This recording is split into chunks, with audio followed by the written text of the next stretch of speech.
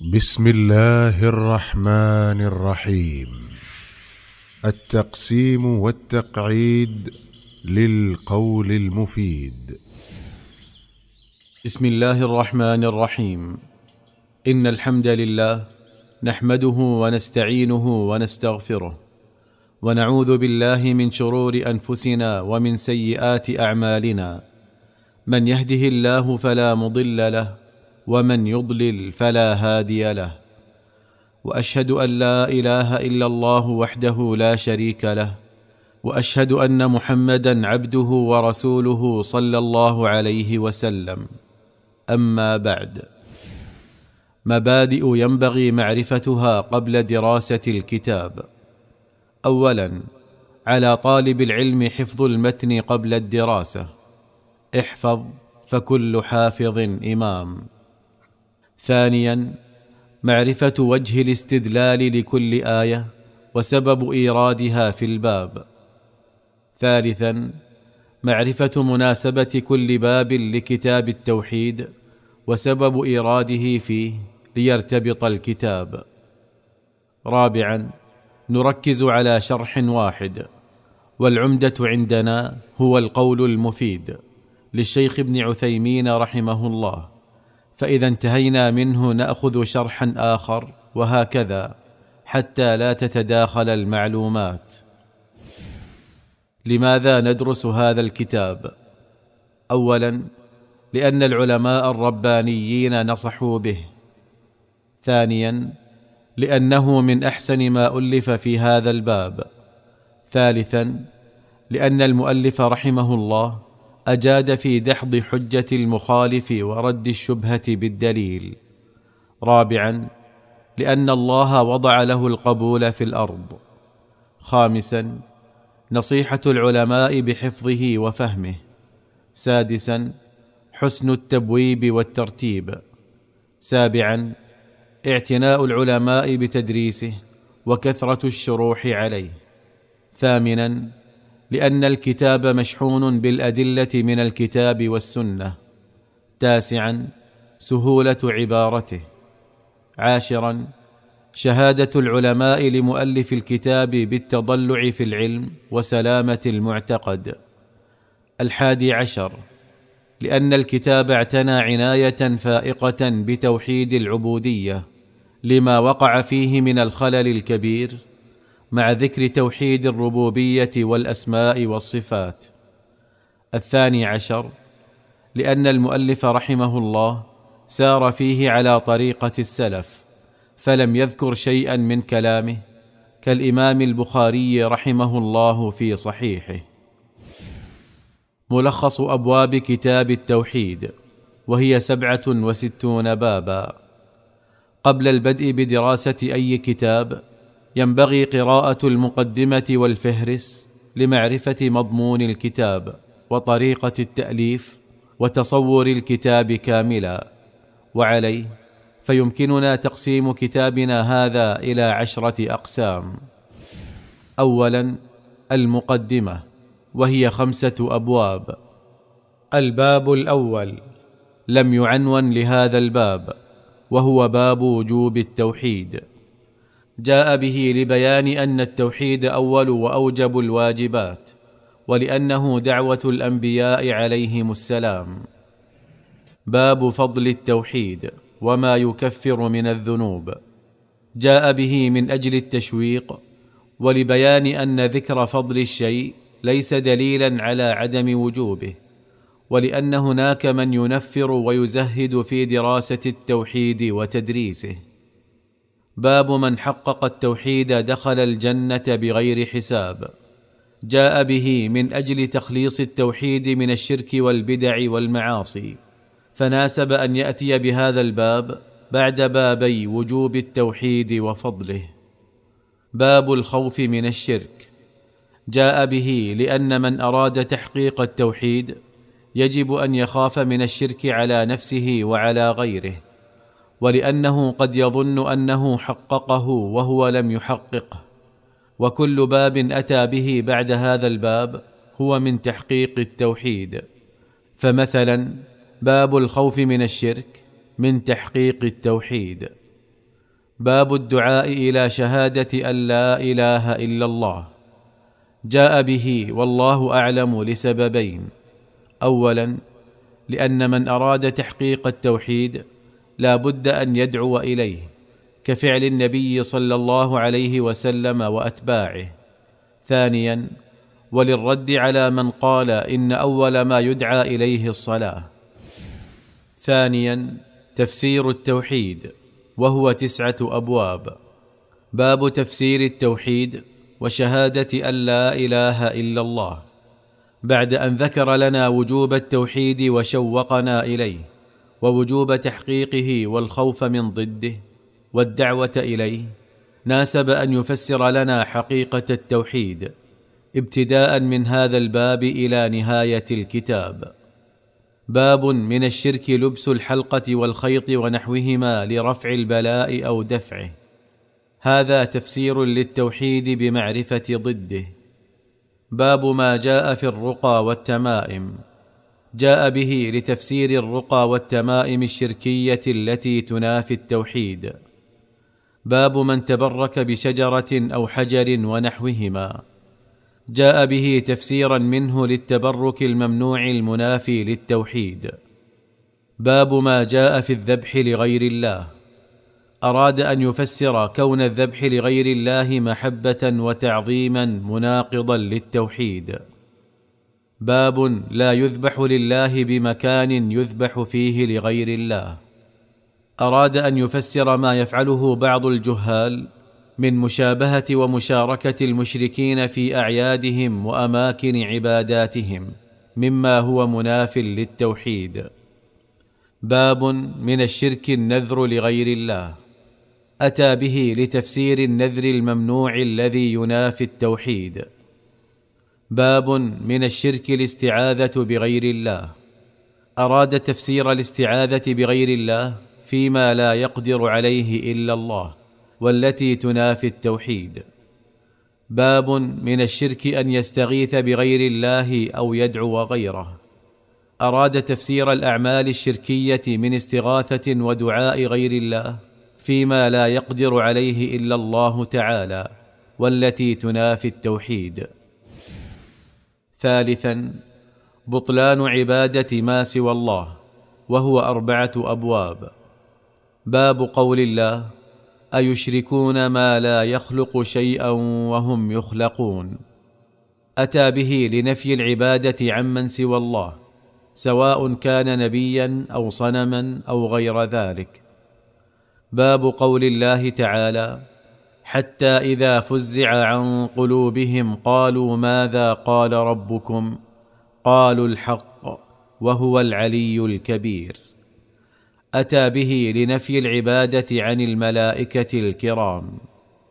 باب الشفاعة. أتى به لإبطال ما يتعلق به الكفار في آلهتهم من الشفاعة. باب قول الله تعالى إنك لا تهدي من أحببت ولكن الله يهدي من يشاء. أتى به لإبطال هداية التوفيق عن سوى الله. رابعا سبب كفر بني آدم وهو أربعة أبواب. بعد أن فسر التوحيد وأبطل عبادة ما سوى الله ناسب أن يذكر أسباب الوقوع في الكفر حتى نجتنبها. باب ما جاء أن سبب كفر بني آدم وتركهم دينهم هو الغلو في الصالحين. أخطر الأسباب في وقوع بني آدم في الكفر وهو أول شرك حدث في الأرض. باب ما جاء من التغليظ في من عبد الله عند قبر رجل صالح فكيف إذا عبده. من أسباب وقوع الشرك التماثيل والتصاوير. واتخاذ القبور مساجد. باب ما جاء أن الغلو في قبور الصالحين يصيرها أوثانا تعبد من دون الله. من أسباب الكفر الغلو في قبور الصالحين. باب ما جاء في حماية المصطفى صلى الله عليه وسلم جناب التوحيد وسده كل طريق يوصل إلى الشرك. سد النبي صلى الله عليه وسلم طرق الشرك في الاعتقادات والأفعال. وسيأتي باب في سده صلى الله عليه وسلم للأقوال المفضية إلى الشرك. خامسا دحض حجة من يقول إن الشرك لا يقع في هذه الأمة أو في الجزيرة. وهو باب واحد. باب ما جاء أن بعض هذه الأمة يعبد الأوثان. سادسا الأعمال الشيطانية وهو سبعة أبواب. باب ما جاء في السحر.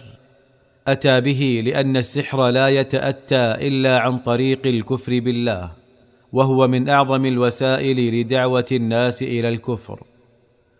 باب بيان شيء من أنواع السحر. أتى به ليعلمنا أن السحر أنواع يجب تجنبها كلها. باب ما جاء في الكهان ونحوهم. أتى به ليبينهم لنا ويبين حكم إتيانهم وصور إتيانهم. باب ما جاء في النشرة. أتى به لإزالة الإشكال بذكر المنهي عنه والمرخص فيه. باب ما جاء في التطير. أتى به لنفي ما كان عليه أهل الجاهلية من التشاؤم. باب ما جاء في التنجيم. أتى به ليبطل علم التأثير المزعوم. باب ما جاء في الاستسقاء بالأنواء. أتى به لإبطال التعلق بالأسباب الشركية. سابعا أعمال القلوب وهو تسعة أبواب. باب قول الله تعالى ومن الناس من يتخذ من دون الله أندادا. أتى به لنفي التوحيد عمن أحب مخلوقا كمحبة الله أو أشد. باب قول الله تعالى إنما ذلكم الشيطان يخوف أولياءه. أتى به لنفي التوحيد عمن خاف مخلوقا كخوف الله أو أشد. باب قول الله تعالى وعلى الله فتوكلوا إن كنتم مؤمنين أتى به لنفي التوحيد عمن توكل على غير الله. باب قول الله تعالى أفأمنوا مكر الله أتى به ليجمع الموحد في سيره إلى الله بين الخوف والرجاء. باب من الإيمان بالله الصبر على أقدار الله. أتى به لبيان حال الموحد عند البلاء. باب ما جاء في الرياء. أتى به لبيان عظم خطر الرياء على الموحد وأنه أخوف ما يخاف منه على الصالحين. باب من الشرك إرادة الإنسان بعمله الدنيا شرك أصغر. أتى به لبيان أن من أراد الدنيا بعمل الآخرة وقع في الشرك وتفسير ذلك بأن يرضى ويسخط للدنيا. باب من أطاع العلماء والأمراء في تحريم ما أحل الله وتحليل ما حرمه فقد اتخذهم أربابا. شرك في الطاعة. أتى به لبيان ما ينقض التوحيد من التحاكم لغير الله. باب قول الله تعالى يريدون أن يتحاكموا إلى الطاغوت. أتى به لإعانة الموحد على فهم معنى الكفر بالطاغوت وتفسير الإيمان الصادق والكاذب. ثامنا توحيد الأسماء والصفات وهو باب واحد. باب من جحد شيئا من الأسماء والصفات. أتى به لبيان نفي التوحيد عمن جحد شيئا من الأسماء والصفات. تاسعا المناهي اللفظية والشركية وهي تسعة وعشرون بابا. باب قوله تعالى يعرفون نعمة الله ثم ينكرونها. أتى به لبيان ما يجب على الموحد تجاه النعم. باب قوله تعالى فلا تجعلوا لله أندادا وأنتم تعلمون أتى به لبيان حال الموحد من الحلف بالله لا بغيره والفرق بين الواو وثم. باب ما جاء في من لم يقنع بالحلف بالله تعالى. أتى به لبيان حال عظمة الله في قلب الموحد عند الحلف له به. باب قول ما شاء الله وشئت. أتى به ليحذر الموحد من التشريك في المشيئة. باب من سب الدهر فقد آذى الله تعالى. أتى به لتحذير الموحد من أن يسب شيئا فيكون بذلك سابا للذي أمره وسخره. باب التسمي بقاضي القضاة ونحوه. أتى به لتحذير الموحد من التعدي على جانب الربوبية. باب احترام أسماء الله تعالى وتغيير الاسم لأجل ذلك. أتى به ليبين حال الموحد من التأدب مع الله وأسمائه وصفاته ودينه وأنبيائه. باب من هزل بشيء به ذكر الله تعالى أو القرآن أو الرسول صلى الله عليه وسلم. أتى به لبيان نفي أصل التوحيد عن المستهزئ وكيفية التعامل معه ووجوب حفظ اللسان. باب قوله تعالى ولئن أذقناه رحمة منا من بعد ضراء مسته ليقولن هذا لي. أتى به لبيان الواجب على الموحد قبل حلول النعمة وبعد وجودها. باب قوله تعالى فلما آتاهما صالحا جعلا له شركاء فيما آتاهما. أتى به لبيان حال الموحد عند حلول النعم وتحريم كل اسم معبد لغير الله. باب قوله تعالى ولله الأسماء الحسنى فادعوه بها. أتى به لتحذير الموحد من الإلحاد في أسماء الله وصفاته. باب لا يقال السلام على الله تعالى. أتى به لتحذير الموحد من الألفاظ التي تنافي الأدب مع الله. باب قول اللهم اغفر لي إن شئت. أتى به لتحذير الموحد من الاستثناء في دعائه واستشعاره لقدرة الله. باب لا يقول عبدي وأمتي. أتى به لينبه الموحد على حسن استعمال الألفاظ. باب لا يرد من سأل بالله تعالى. أتى به ليبين حال الموحد إذا سئل بالله أنه يجيب تعظيما لله. باب لا يسأل بوجه الله تعالى إلا الجنة. أتى به لبيان حال الموحد من تعظيم الله تعالى وكمال الأدب معه تعالى. باب ما جاء في اللو. أتى به لبيان أدب الموحد في استعمال الكلام الحسن وعدم الاعتراض على الشرع والقدر. باب النهي عن سب الريح. أتى به لإرشاد الموحد إلى الكلام النافع إذا رأى ما يكره. باب قوله يظنون بالله غير الحق ظن الجاهلية. أتى به لتحذير الموحد من سوء الظن بالله كما هو ظن الجاهلية. باب ما جاء في منكر القدر. أتى به لبيان حال إيمان الموحد بالقضاء والقدر. باب ما جاء في المصورين. أتى به لينبه الموحد على خطر التعدي على جانب الربوبية. باب ما جاء في كثرة الحلف. أتى به ليوصي الموحد بحفظ الأيمان وتعظيم الله عند التعامل مع الناس. باب ما جاء في ذمة الله. أتى به ليعظم الموحد ذمة الله وذمة نبيه صلى الله عليه وسلم في حال السراء والضراء. باب ما جاء في الإقسام على الله. أتى به ليحذر الموحد من التعدي على جانب الربوبية بإغلاق باب الرحمة عن العباد. باب لا يستشفع بالله على خلقه. أتى به ليحذر الموحد من جعل رتبة المخلوق أعلى من الخالق. باب ما جاء في حماية المصطفى صلى الله عليه وسلم حمى التوحيد وسده طرق الشرك. أتى به ليجتنب الموحد كل قول يؤدي إلى الشرك. عاشرا الخاتمة وهي باب واحد. باب قول الله تعالى وما قدروا الله حق قدره. اتى به ليبين للموحد ان المشركين الذين لم يوحدوا الله ما قدروا الله حق قدره. فاحذر يا موحد من طريقهم.